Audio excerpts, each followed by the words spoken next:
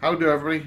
Villordsutch here, and I've just literally looked on the internet and discovered uh, from Bazza H's post that Rick Dickinson has passed away. Uh, the great Rick Dickinson has passed away.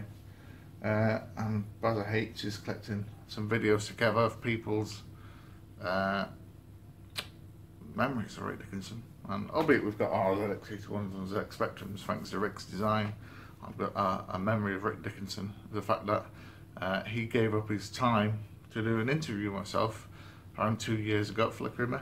Well, he didn't have to. I, I saw it, I think he made a tweet, I remember rightly.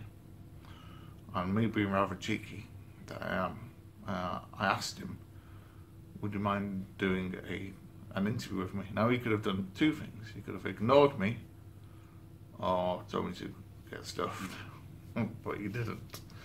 Uh, he said, certainly I'll do an interview. Now at that point, he could have said, certainly I'd do an interview, look great in front of everybody, and then ignored me from that point on. But he didn't. He said, I'll do an interview, and sent me his email address. So I sent over about seven questions. And uh, I let him know that these are the questions, Rick. If you want, now you can take your time if you want to. It's just an email interview, no stress, when you want to. And within like a couple of days, he sent through massive answers. He literally, it wasn't like, yeah, no, why you asked me this stupid question for? This was like him answering it. I uh, went through uh, like what inspired him to be a designer, uh, what machines does he like now, designing the designing Sinclair machines, all sorts of stuff. It was brilliant. I was over the moon with it. Uh, here was a chap that was here was a chap that was designing, still designing, winning in awards and stuff. That was giving up his time for some cheeky son that arrived and went, "Give us an interview, Rick." You don't have to, but he did. So I, I was made up. I was very happy that the guy who like designed the ZX81 and Spectrum 48K, etc.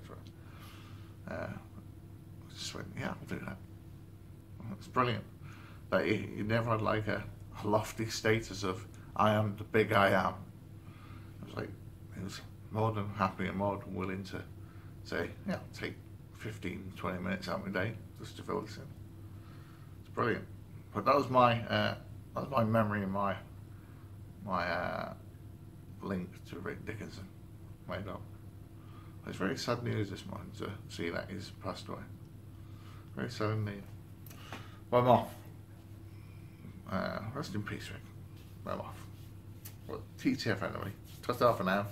Cheerio and bye bye. Bye bye, everybody. Bye bye.